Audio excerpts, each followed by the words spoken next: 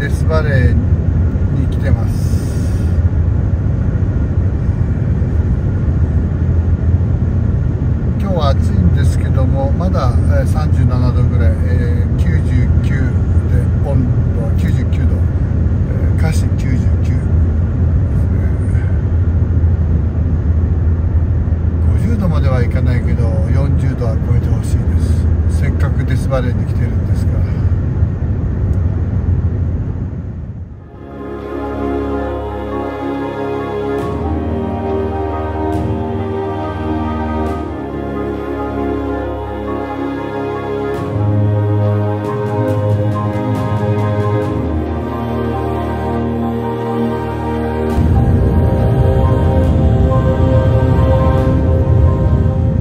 所はバッドウォーターベイシンって言います、えー海抜がマイナス85.5メートル。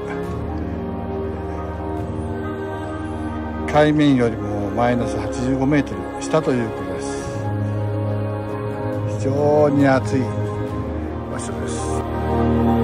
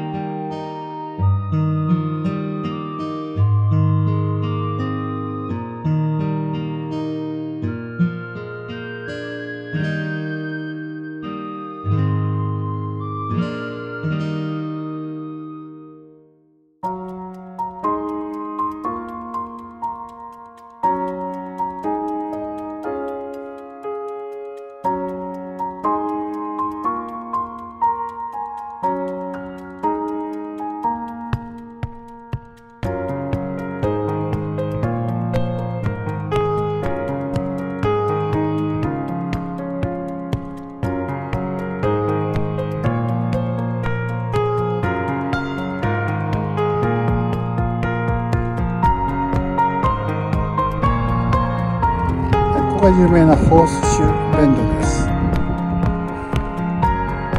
グレンダムから数マイル下ったところに あります。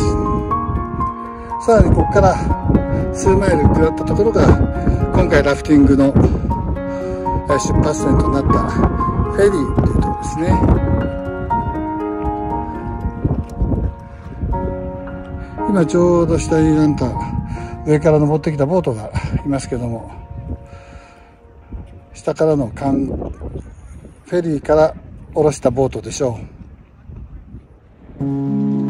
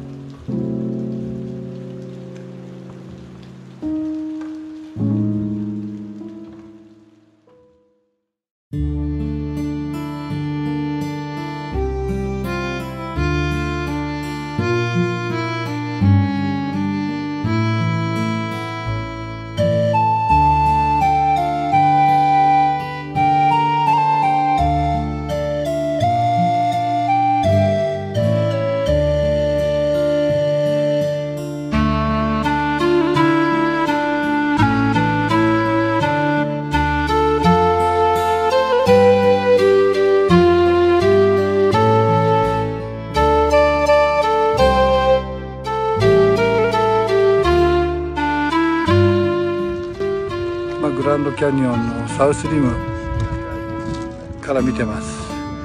ちょうどこの下の辺りが3日目のキャンプ地だったみたいですね。